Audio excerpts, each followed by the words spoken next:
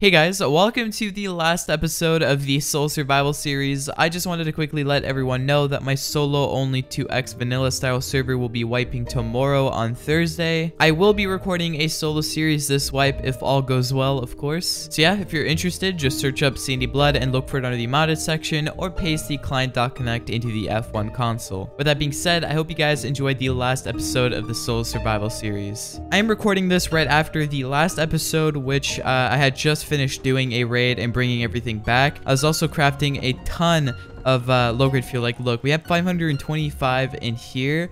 And then I think over in here, we have like a couple thousand uh, overall. Yeah, we are absolutely loaded with low-grade fuel. Now, we also have all of these rockets and explosive bullets. I'm not gonna lie, I didn't think we were gonna have this much by the end of the last episode, but we do. We have tons of raiding supplies. Apart from that, I do want to do a bunch of sulfur farming so I can fill this box up with uh, explosive bullets and rockets, which is why I'm recording now instead of tomorrow morning, so I want to do something real quick. I was going to bring this over to the bandit camp so I could just gamble, uh, because I have too much in here and I don't want to, like, I don't know, I like how sorted this box is, okay? Uh, but instead, I'm going to go ahead and bring everything, and what I want to try to do is buy as many grenades as I can, and then recycle it all and to see how much gunpowder we can end up with. This scrap is completely useless to us now since I have everything I want researched. So I'm very interested to see how much uh, gunpowder we can end up with after using all of this scrap. This would be it right here. Okay, you know what? We just spent 80 scrap uh, and we got 10 grenades. Let's see what 10 grenades will give us. Can I recycle them like this or do I need to separate them? Nope. Oh, dude, it actually gives you 15 gunpowder each. That is insane. Alright, well it looks like we're going to be buying a lot more grenades. And that's exactly what I did. In fact, I spent the next hour and 30 minutes doing this. Now, was it worth spending an hour and a half to trade in all of my scrap for gunpowder? I'll talk about that in a moment, but first, about 10 minutes into the recycling, I saw this base that was decaying and I couldn't help myself but to go check it out. And of course, if it's fresh and nobody has seen it yet and there's a locked TC, you should invest a few minutes to destroy it because it is definitely worth it. It's only like the third day. What are you doing quitting already, dude? He has some stuff in here as well. 41 rope. Uh, some more stuff that we can recycle. That is good. Uh, what's most interesting, though, is the TC. Alright, now we got him. Um, alright, well, let's get back to base, and uh, I can just check this one satchel. Just to see what this has, and then we will begin running back to base. Okay, not bad at all. Some low grade that I, like, literally, that's the last thing I need at the moment. I just have way too much low grade fuel. Uh, Alright, let's go depot that, and we'll continue the bandit camp recycling. I have so much resources in this space, I, I, I don't know what to do anymore. It's, like, way too much. Alright, well, we got everything. We're gonna recycle uh, for extra scrap, as well as, I think I can turn this into scrap at the bandit camp if I give it to one of the shop guys. Uh, anyways, hopefully the bandit camp isn't angry at me right now because if it is, we're about to die a very depressing death. But if all goes well, then the bandit camp should be okay with us. Alright, let's begin. Actually, to be specific, it took around an hour to trade in all of my scrap, which was around 3,000, for grenades to recycle into 5,000 gunpowder. What I then did was grab 664 high qual from my base, which still left me with 500 high qual sitting in my TC. One high quality metal will get you 3 scrap at the bandit camp. That also took around 30 minutes. So, is it worth it? Well, in the end, I was left with around 9,500 gunpowder. Of course, I also got loads of metal frags, but that's not what's going to decide if it was worth it or not. Everything I traded in was pretty much completely useless to me. There was no need for scrap anymore as I researched everything I wanted, and the 500 high qual left in base, well, that's not gonna go anywhere anytime soon. In that case, then, it's free gunpowder, so of course it's worth it. Well, not so much. If I had simply went out and farmed sulfur, I imagine I could get around 12,000 sulfur every 20 minutes, considering I get 600 sulfur for every sulfur node. Keep in mind, I am playing on my solo only 2x vanilla style server.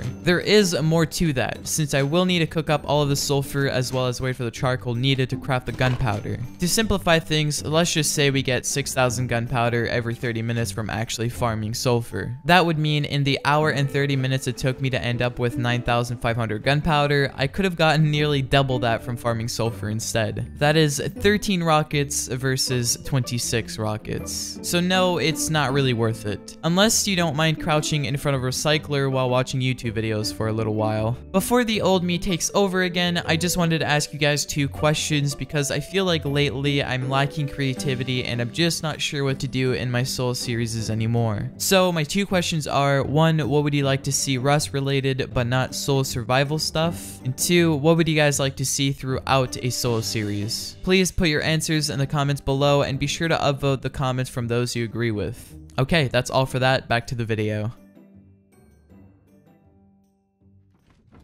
But yeah, look at all of that GP, dude. One, two, three, four, five, six, seven, eight, nine. Not exactly 12,000, but that's nearly 10,000 gunpowder. Oh, someone's building a base right here. No thank you. Oh, I don't want somebody building next to me. I could raid him real quick, but I don't really want to. Um, okay, let's bring back some low-grade fuel and go on top of dome. I got one of these. That looks nice. Alright, let's put half in there. It's, okay, I, I love lag. Let's put half in there, and let's get to dome.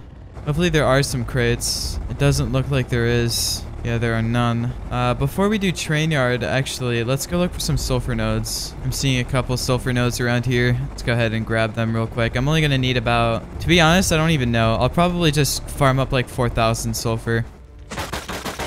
Alright, that's enough. Uh, I see a green crate, so that's a good sign. No pipes. A guy in a boat straight ahead. Oh, he went to sleep, dude. No, don't quit the game.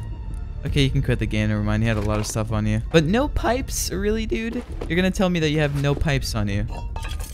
Oh, feels bad for Lucas. Alright, well, let's get back to the minicopter, and I guess we can go to the train yard since it's so close to base to see if there are any pipes there, and at the same time, we'll be able to look at Dome. Maybe the crates might have respawned. I don't know when was the last time somebody went there. Alright, let's go check out the Dome and the train yard. Yeah, no crates. Oh, bad idea. I threw my hazmat suit earlier as well, and I'm getting mad lag spikes, and I have no choice to... Man, I might die here. Totally forgot about needing a hazmat suit. Uh, let's see if I can race home. Alright, looks like we'll be able to enter back uh, in base. Just gonna walk my way inside my base. Okay, well, we didn't get lucky at all for pipes. That is quite unfortunate. All right, let's go ahead and uh, go with a hazmat suit. All right, let's do this. Hopefully not getting camped. i check around my base because they know I have a minicopter outside, so they could just wait for me to get on my minicopter. No one's out here. Okay. Some P2 shots. Sounds like behind me. Nothing yet again. Good enough. And there's crates. Cool. Uh, now we actually need to get lucky with pipes. Nothing. Pipes. We got lucky. More pipes. Beautiful. Rifle bodies. Okay. Road sign. Okay. Nice. Alright, these are the pipes that I have. I have all of this gunpowder. And I only have 15 sulfur, but then I should have nearly a thousand each and I should have a lot of GP right here. So let's go ahead and see how many rockets we can make. Alright, so overall, I have all of these rockets crafted, uh, and then all of this over here, plus a bunch of explosive ammo, Now, I did kill someone off camera, unfortunately, and I got like a full metal kit. Uh, where is it? It's like in here somewhere. Well, anyways, I have a full metal kit uh, right here, plus an LR, so that was pretty cool. But yeah, I'm gonna bring over uh, all of these rockets over here, so this is enough to go through four stone walls, like layers of stone walls, uh, to raid this one base that I've been thinking about raiding since, uh, well, ever since he was roof camping me the first time, and uh, I've never seen him leave his roof, so this might be a challenge. He's obviously good at defending his own base, uh, even when people are like miles away. But we're gonna go check out his base first, see if it's worth raiding. I believe he is active, but I'm not exactly sure. Uh, and we'll just go from there. So I'm gonna head over to that base and place down these two turrets. Man, I am uh, I'm a little bit anxious because this guy has a huge base, but it's the only guy that is fully metal uh, and active currently. This guy, oh god.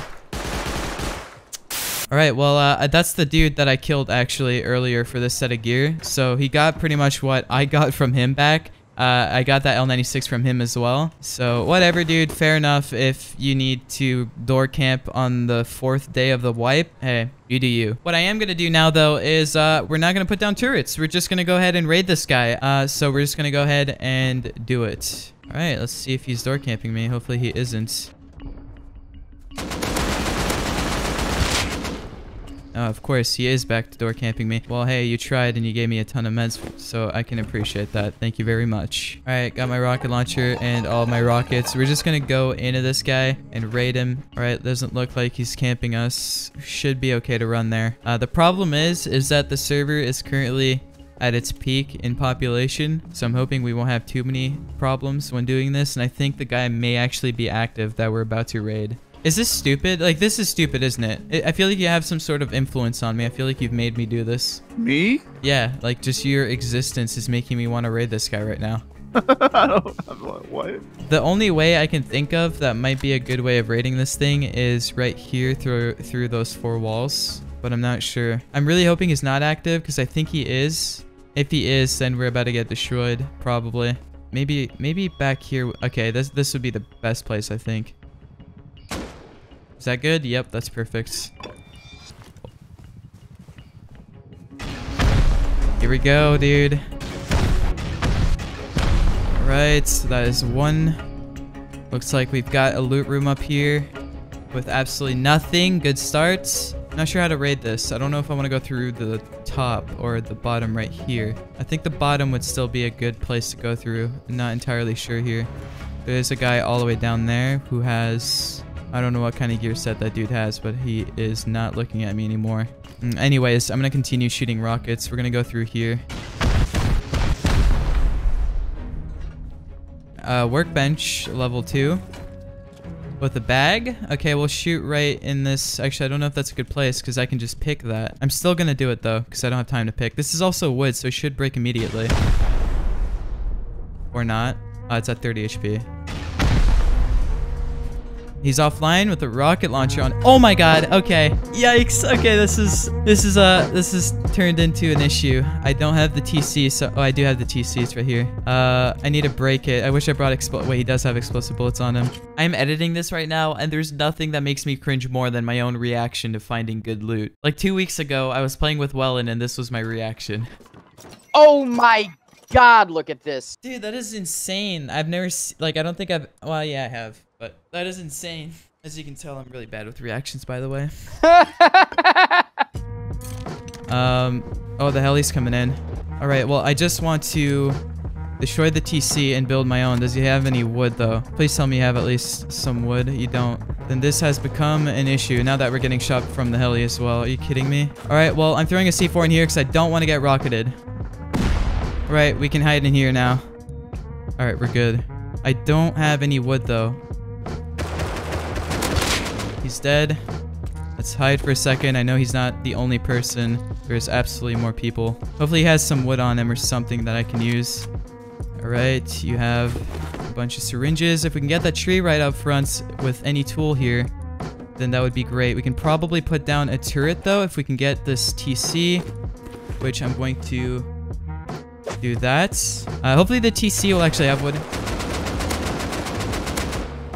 We're hit really badly. We're good for now. I definitely did not down him either.